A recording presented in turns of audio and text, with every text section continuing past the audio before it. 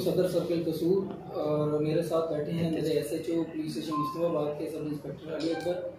और इस केस की ब्रीफिंग हम जो दे रहे हैं, ये तीन सौ दो का पर्चा है और पाँच सौ उनहत्तर दो बेटी हैं और दो बेटे हैं। और जिसको मार रही है, उसके भी उसी तरह के दो बेटे हैं। और जब वो ये सब कुछ कर रही है, उसकी जो बड़ी बेटी है, वो उसको रोक रही है और उसको भी मार रही है कि तुम साइड पे हो जाओ।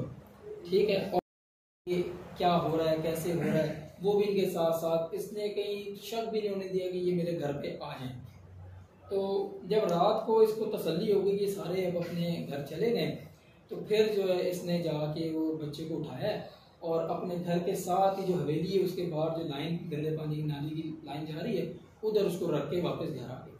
और फिर इसी तरह कहीं इनके घर वाले दोबारा निकले तो उन्होंने देखा, यार ये ये किसकी, कौन पड़ा है बच्चा?